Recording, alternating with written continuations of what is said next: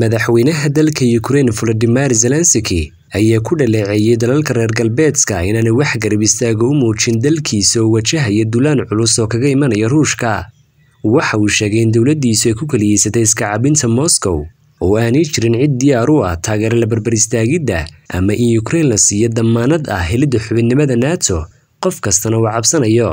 Qaraxyo dhowra ayaa waa berigii hore ee maanta ka dhacay magaalada Kiev ee caasimadda Ukraine waana maalintii labaad ee uu socdo dagaalkan oo madaxweynaha Ruushka Putin uu ka dhaga adeegay joojintiisa. Saacadaha kooban ee uu socday dagaalkan Ruushku ku qaaday Ukraine waxaa ku dhintay dad ku dhow laba boqol oo qof oo isugu jira ciidan iyo rayid.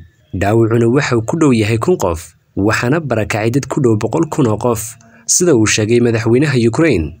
Maraykanka iyo xulafadiisa ayaa dagaalkan kaga jawaabay cunaqabatayn ay sheegeen inay saarayaan Ruushka. Cumar Saadiq, telefishinka CBA.